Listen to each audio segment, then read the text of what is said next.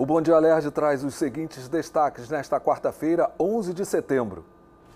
Fortaleza de Santa Cruz da Barra, em Niterói, é tombada pelo Instituto do Patrimônio Histórico e Artístico Nacional. Projeto com sessões gratuitas de cinema é retomado em vários municípios do Rio. Festival da Sardinha e Frutos do Mar movimenta Búzios neste fim de semana. O Bom Dia Alerj começa agora.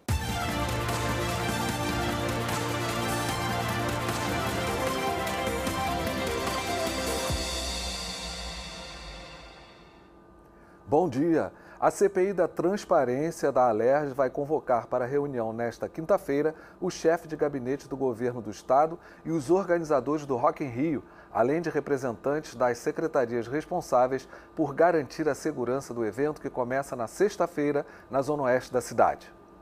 De acordo com o presidente da CPI, deputado Alan Lopes, todos foram convidados para a reunião desta terça-feira, mas não compareceram e, por isso, serão convocados, inclusive com condução coercitiva, caso necessário.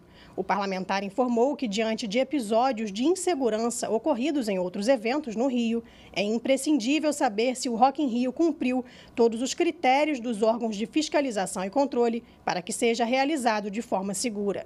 Geralmente a gente convida as pessoas né, de maneira cortês, até para a população saber, ter as devidas explicações, ter certeza que elas estão indo a um evento que tem total segurança, para evitar o que aconteceu nos eventos anteriores. Mas, infelizmente, o Estado, que deveria estar aqui representando a segurança do cidadão, não veio, não mandou representantes e, infelizmente, nós fomos obrigados a convocá-los, porque o evento já é na próxima sexta-feira e a gente não pode ter nenhuma dúvida de que não há segurança para as pessoas que lá estarão uh, nesse evento. A gente já viu o que aconteceu no show da Taylor Swift e em outros episódios também, então é imprescindível que eles estejam aqui para explicar toda a questão da segurança. Segundo o ex-secretário estadual de Defesa Civil, Coronel BM Leandro Monteiro, havia uma pressão da imprensa e dos organizadores para a liberação do espaço, mas até a data da sua exoneração, há oito dias, nenhum certificado de autorização do evento havia sido emitido pela corporação. Monteiro explicou que, como o espaço conta com várias estruturas que dependem de montagem, essa autorização só é concedida após a vistoria feita com todos os equipamentos já montados. E lembrou que os requisitos são fundamentais para garantir a segurança de todos.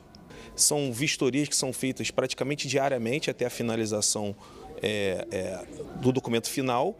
Agora, o Corpo de Bombeiros não pode emitir um documento final sem a estrutura estar montada por completa. Então, é por isso que há essa demora, a gente entende a pressão da, da organização do evento, mas são vários tipos de, exigências que têm que ser é, feitas pelo Corpo de Bombeiros para para eventos que são montados naquele eventos temporários, né? Então por isso que não há um documento final exigindo é, que tenha, na verdade, é, uma exigência fixa para aquele, aquele, aquele ambiente. Então, cada estrutura, cada evento é, um, é uma exigência a ser feita. Ao ser questionado pelos parlamentares sobre não responder aos requerimentos enviados pela CPI, o secretário estadual de Defesa do Consumidor informou que, na verdade, está dependendo de respostas da organização do evento.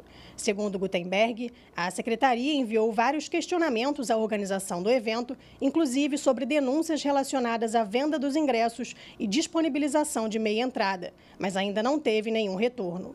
Tem é, um grupo muito grande de pessoas que já vem denunciando que não está tendo acesso à meia entrada. A gente já recebeu denúncia também que na mão dos cambistas estão vendendo meia entrada a preço, a preço, preço integral, o que não pode. Enfim, são diversas outras denúncias. A gente tem denúncias, por exemplo, de venda casada de fornecedores, o que a Lei de Proteção e Defesa do Consumidor proíbe. Então, assim, são alguns cuidados que o evento tem que ter para que o consumidor ele tenha certeza de que o que é dele de direito está garantido. O deputado Alan Lopes também lembrou que, além da questão da segurança, a CPI quer respostas quanto à transparência das contrapartidas do evento com o governo do Estado e a quantidade de gratuidades concedidas. O governo do Estado não pode ter um camarote, não pode ter centenas de ingressos VIPs, não pode ter todo o aparato de bebida, comida sendo pago com o dinheiro do contribuinte. As pessoas trabalham muito para economizar para nesses eventos poderem participar não pode o governo do Estado usar o dinheiro das pessoas em benefício próprio. Dados do registro civil mostram que os brasileiros têm se divorciado cada vez mais e o tempo das relações também foi reduzido. Em 2010, para cada quatro casamentos, houve o registro de um divórcio. Em 2022, esse número dobrou. Quais seriam as causas desse aumento? O repórter Paulo Vitor Viviane vai conversar com uma advogada especialista em direito de família e processo civil. Bom dia, PV. Olá, bom dia Vicente, bom dia a todos que acompanham a TV Alerj. Trazendo um pouquinho mais esses números aí que você citou, Vicente, é, segundo os dados do IBGE, o número de divórcios no Brasil chegou, passou, na verdade, de 420 mil em 2022, enquanto foram registrados aí 970 mil casamentos no mesmo período. O número de divórcios teve um aumento em relação a 2021 em torno de 8,6%, que dá em média aí a um divórcio a cada 2,3 casamentos. Nós vamos conversar hoje com a advogada, a, a doutora Silvia Drummond, que é especialista em direito de família e processo civil. Bom dia, doutora. A que leva esse aumento do número de divórcios é, com a sua rotina de trabalho, com a sua experiência? Quais são esses fatores? Bom, eu penso que nós temos alguns fatores que contribuem para esse aumento. Período pós-pandêmico, muitas pessoas deixaram de se divorciar e viveram dificuldades nos relacionamentos por questões financeiras.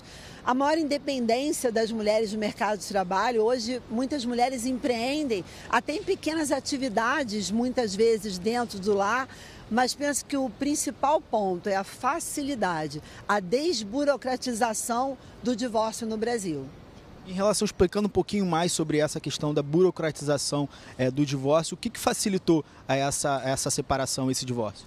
Nós temos alguns aspectos que contribuíram. Em um primeiro momento, a possibilidade de realização de um divórcio em um cartório, um cartório de ofício de notas, o cartório extrajudicial.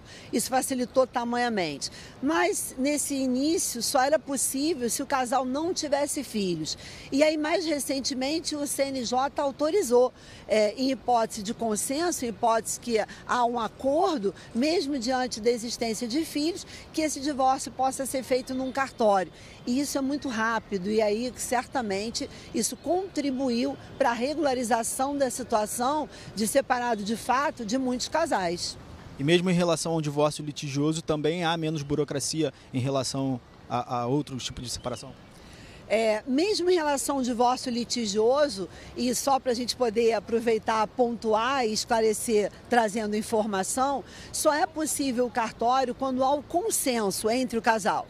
Então, em muitos casos, um dos cônjuges diz: Eu não vou dar o divórcio, mas é um direito potestativo, ou seja, esse divórcio ele vai acabar sendo realizado, e aí, quando há o litígio, pela via judicial.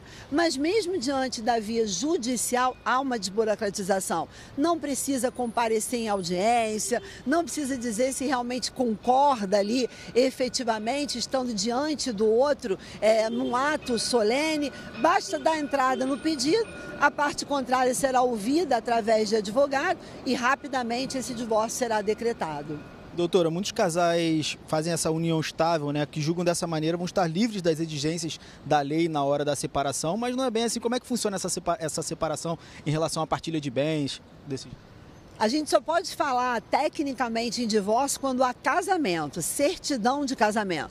Muitos casais vivem juntos, sem casados fossem, e optam muitas vezes por fazer uma escritura de união estável, por regularizar essa situação também em um cartório. Mas é importante esclarecer que, diante do término de uma união estável, quando há uma escritura, também é necessário fazer a dissolução. E aí, da mesma forma, seja extrajudicialmente ou judicialmente. Doutor, um ponto muito importante também que deve ser levado em consideração hoje, quando há separação, sobre a guarda dos animais. Porque tem muitos casais hoje que não têm filhos, mas acabam é, sendo a mãe ou pai de um pet. Como é que é essa situação? Como a justiça reconhece essa situação? Então, é o tratamento que tem que ser assegurado, a proteção dada aos pets, aos animaizinhos de estimação. É importante inicialmente dizer que no nosso direito não há uma regulamentação específica, uma legislação específica. Então, em muitos casos, tem sido aplicado a regra da guarda compartilhada, assim como se fosse com os filhos. Mas é importante dizer que guarda não é com quem fica, guarda é a responsabilidade. E a partir dessa responsabilidade comum, irá se estabelecer uma regra de convivência como se fossem os filhos mesmo. Vai apanhar um dia na semana, passear finais de semanas alternados, para que a gente tenha como objeto de tutela um animal de estimação que muitas vezes se apega aos donos, mesmo diante do término daquele relacionamento. Obrigado pela participação, doutora. Bem esclarecedor esse assunto, né, Vicente? Porque muita gente ainda tem dúvida em relação a esse tema, principalmente essa parte dos animais, com quem fica a guarda. Então a doutora está aqui nesse Bom Dia Aliás explicando essa situação toda pra gente. Volto com você no estúdio. Verdade, PV, bem esclarecedor. Separação é sempre muito dolorido, muito complicado e cada caso é um caso, né? Mas no caso de um o, do casal já está num momento de delicadeza do, do, seu casamento, não tem outra saída a não ser a separação e quem sabe até o divórcio, né? Agradece aí a advogada Silvia. Obrigado aí. Bom dia para você. Vamos ao nosso giro de notícias de hoje.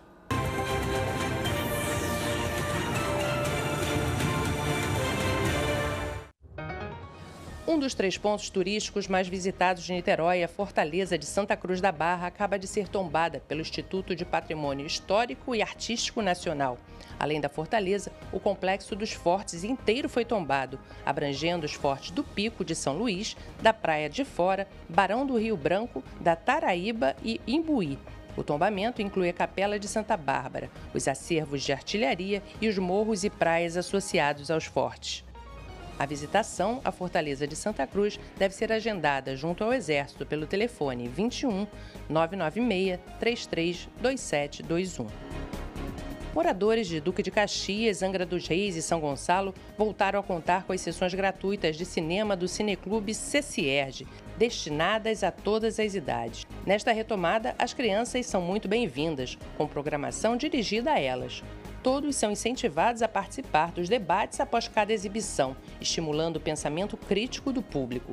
Em Caxias, o Cineclube funciona no Museu Ciência e Vida, em Angra, no Centro Cultural Teófilo Massad e em São Gonçalo, no Polo Cederge, no CIEP 250, no Gradim. A coordenadora do projeto, Cine CCERG, Caroline Alciones, faz o convite. O Cineclube CCERG ele tem uma importância fundamental na sociedade, que é estimular o pensamento criativo, né, o pensamento crítico, ah, e, e, assim construir, atuar na constituição de indivíduos mais criativos e, e críticos para a sociedade, né, é, que possam fazer diferença no trabalho, na, nos estudos, na universidade, a partir dessa perspectiva da criatividade, que a, as artes permitem que o indivíduo tenha. São três filmes por mês, tudo gratuito, público, de qualidade. As nossas linhas de atuação são o Cineclubinho, para o público infantil, o Essencial, com filmes que quem curte cinema não pode deixar de assistir, e o Cineclube Romântico, para aquecer o coração de todo mundo. Então, venham fazer parte do Cineclube CCERG, a gente está esperando por vocês. O Festival da Sardinha e Frutos do Mar em Búzios está chegando à oitava edição. Entre os dias 13 e 15, no campo da Sociedade Esportiva de Búzios, os visitantes vão poder vivenciar uma experiência gastronômica variada, com pratos servidos em 27 barracas e outras três só de sobremesas. Cada prato salgado terá preço fixo de 29 reais, e as sobremesas 25 reais. A programação musical vai acontecer nos três dias, com destaque para o sábado. A banda Maneva, que mistura reggae, pop e rock, é a atração principal.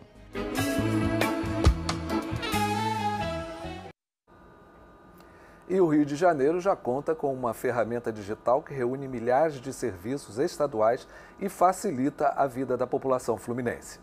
Com o RJ Digital, as pessoas passam a ter nas mãos mais de 2.500 serviços estaduais de diversas áreas, como educação, saúde e segurança pública. No novo aplicativo, os usuários podem ter acesso ao registro de ocorrência online da Polícia Civil, fazer reclamações ao PROCON, solicitar seguro-desemprego, abrir empresas pela Junta Comercial do Estado, solicitar segunda via da carteira de identidade ao Detran, consultar exames do Rio Imagem, entre outras funcionalidades.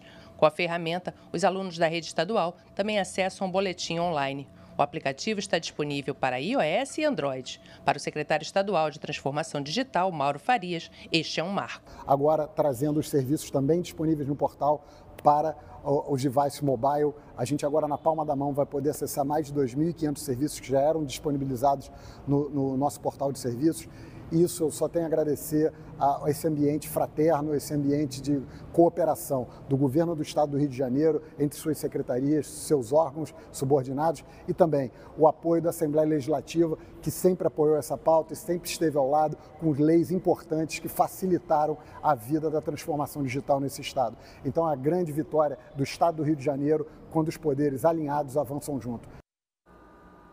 E antes de encerrar, vamos dar uma olhada no tempo em algumas cidades do estado.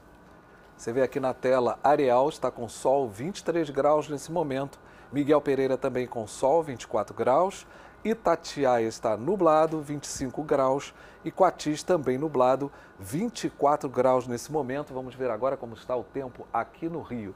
Você vê imagens aí do Pão de Açúcar. O dia amanheceu novamente com sol, bastante calor já de manhã. Essa névoa permanece, aquela fumaça que está vindo aí das queimadas se misturando a essa névoa do amanhã de inverno que é comum. Nesse momento faz 24 graus, a máxima prevista para hoje é de 36 graus. Obrigado, Rodrigo, pelas imagens ao vivo. O Bom Dia Alerj termina aqui. Se você quiser enviar sugestões ou vídeos aí da sua cidade, é só acessar nosso e-mail tvalerj.alerj.rj.gov.br. Um ótimo dia para você e até amanhã.